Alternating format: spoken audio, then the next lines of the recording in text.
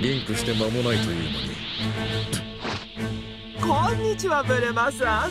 ごちそういただけると聞いて伺ったのですが。わざわざ僕たちを呼び出したんだ。よっぽど美味しいものなんだろうね。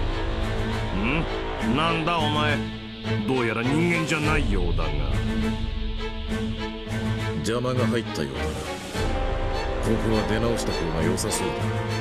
孫悟空にリンクしている狙いまた行っちゃった。何が？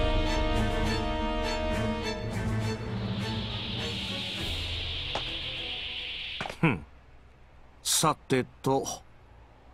孫悟空の中にいるやつお前は誰だ？僕の目はごまかせないぞ。え？どういうこと？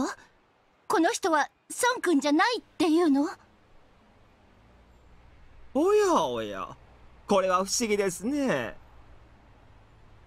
悟空さんの体なんですが本人の気はわずかにしか感じまその代わり知らない人の気が感じられます第三者が悟空さんの体を乗っ取っているというところですかね。体を乗っ取っている？ちょっとあんた。孫くんの体から出ていきあんたに乗っ取られているほど孫くんは暇じゃないのよ。ブルマさんそんなに困らせるものではありませんよ。この方も意図せず悟空さんの体に入ってしまったようですし。というわけで悟空さんの体の中にいるあなた。まずは心の中で悟空さんに呼びかけてみていただけませんか？あなたなら同じ体の中に眠る悟空さんと話すことができるはずです。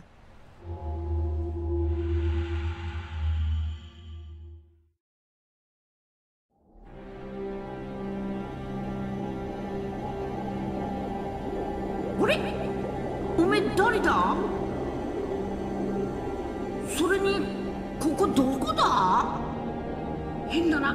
体が動かねえ。おらなあおめえなんか知らねえか？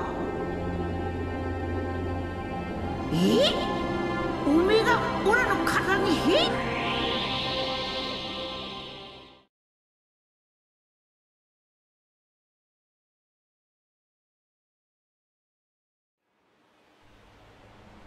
それにしてもウイスこの妙な波動は一体何だろうね？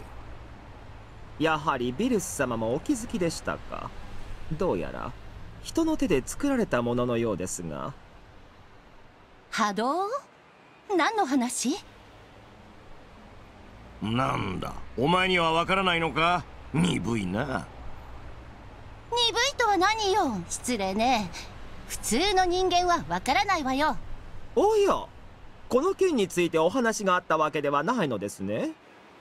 てっきりごちそうを食べさせる代わりにこの波動について教えろというのかと。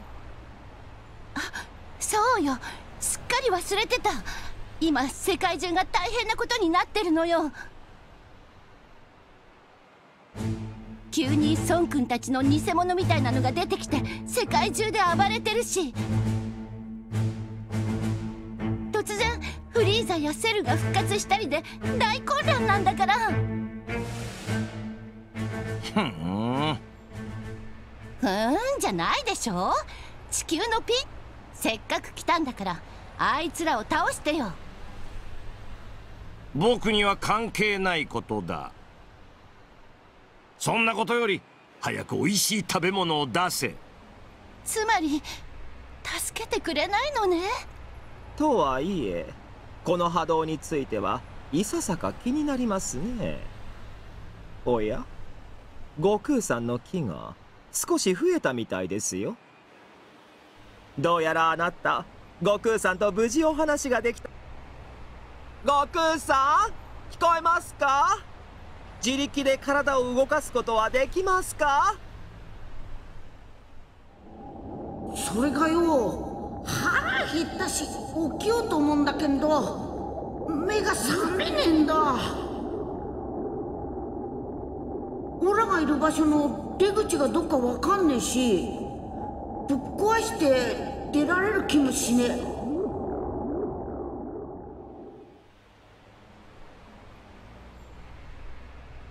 うん。悟空さんから返答がないところを見るとやはり自力では動けないようですね。あれ？オラの声ウイスさんに聞こえてねえか？ウイスさんの声は聞こえんだけどな。困っちまったな。ひょっとすると悟空さんがこうなったのはこの波動の影響かもしれませんね。波動の力で木の量が制限され反動で精神が体の奥底で冬眠状態になった。そんなところでしょうか。気が多そうな連中は全員強制的に眠らされているようだだったらなんでビルス様とウィスさんは大丈夫なわけ？決まってるだろ神はそんな波動なんかの影響は受けない。あそう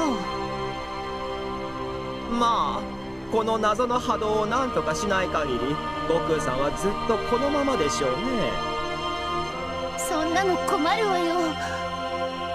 あちょっと待って。今各地の様子を見に行くってみんな外に調べに行ってるのよ。でも強い人が眠っちゃうってことは他のみんなも出て行った先で。動けなくなっているでしょうねおそらく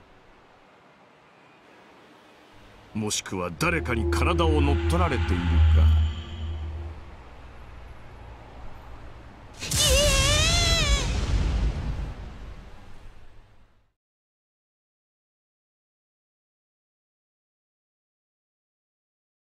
どうすればいいのよ？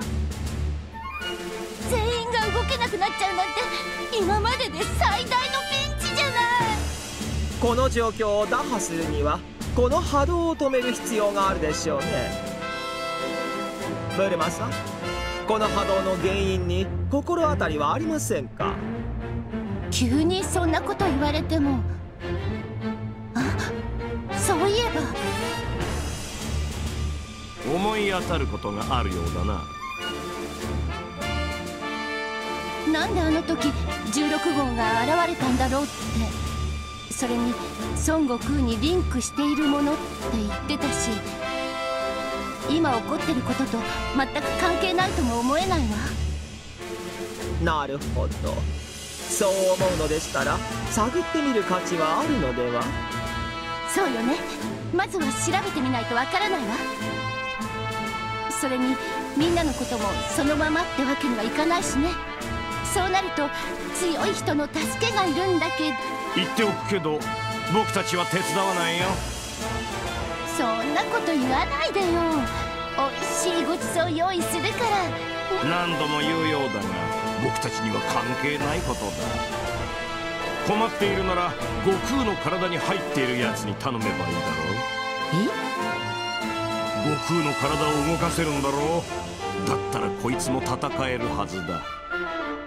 うーん仕方ないかまああんただって元の体に戻れないと困るでしょ？というわけで私たちに協力してね。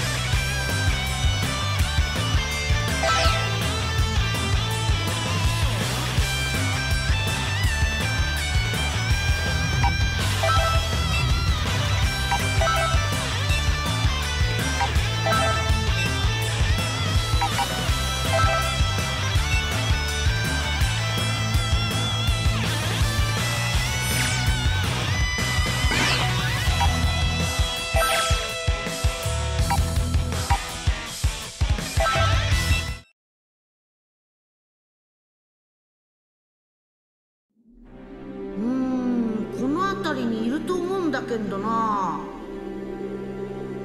おいたいた。やっぱ思った通りだ。オラの木に似てんのがいるなって思ったけど大正解だ。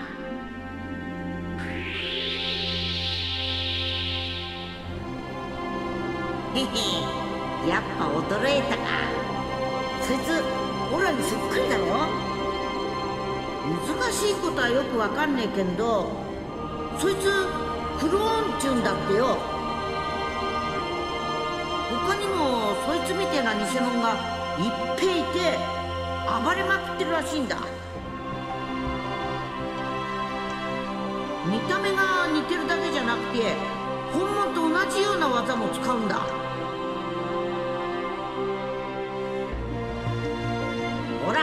自分と戦うなんて初めてだから。なんか変な感じがするんだよな。勝てっかどうかは戦ってみねえと分かんねえけどさ。オラと同じような技を使うんだったらこいつとの戦いもいい修行になると思う。そういうわけだからまずは目の前にいるあいつをやっつけようぜ。